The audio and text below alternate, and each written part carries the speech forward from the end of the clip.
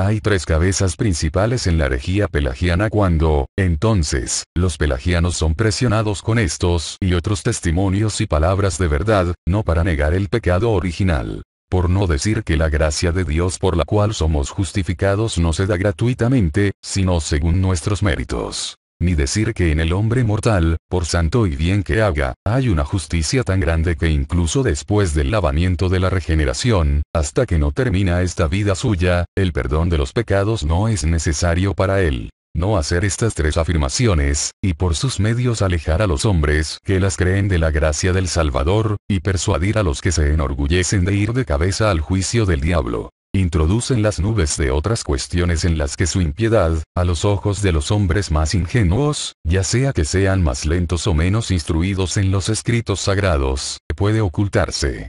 Estas son las preguntas nebulosas de la alabanza de la criatura, de la alabanza del matrimonio, de la alabanza de la ley, de la alabanza del libre albedrío, de la alabanza de los santos como si alguno de nuestro pueblo tuviera la costumbre de menospreciar esas cosas, y no de anunciarlo todo con las debidas alabanzas al honor del Creador y Salvador. Pero ni siquiera la criatura desea ser alabada de tal manera que no esté dispuesta a ser sanada. Y cuanto más alabado sea el matrimonio, menos se le debe atribuir la vergonzosa concupiscencia de la carne, que no es del Padre, sino del mundo. Y que ciertamente el matrimonio encontró y no hizo en los hombres. Porque, además, es en realidad en muchos sin matrimonio, y si nadie hubiera pecado, el matrimonio mismo podría estar sin él.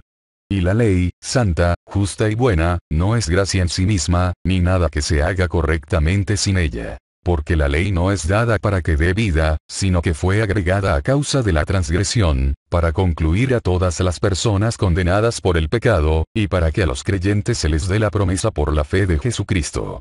Y el libre albedrío tomado cautivo de nada sirve, excepto para el pecado. Pero para la justicia, a menos que sea divinamente liberada y ayudada, de nada sirve. Y así, también, todos los santos, ya sea desde el antiguo Abel hasta Juan el Bautista, o desde los mismos apóstoles hasta este tiempo, y en adelante hasta el fin del mundo, deben ser alabados en el Señor, no en sí mismos. Porque la voz, incluso de las anteriores, es, en el Señor será alabada mi alma. Y la voz de los últimos es, por la gracia de Dios soy lo que soy. Y a todos pertenece, para que el que se gloría, se gloría en el Señor. Y es la confesión común de todos. Si decimos que no tenemos pecado, nos engañamos a nosotros mismos y la verdad no está en nosotros.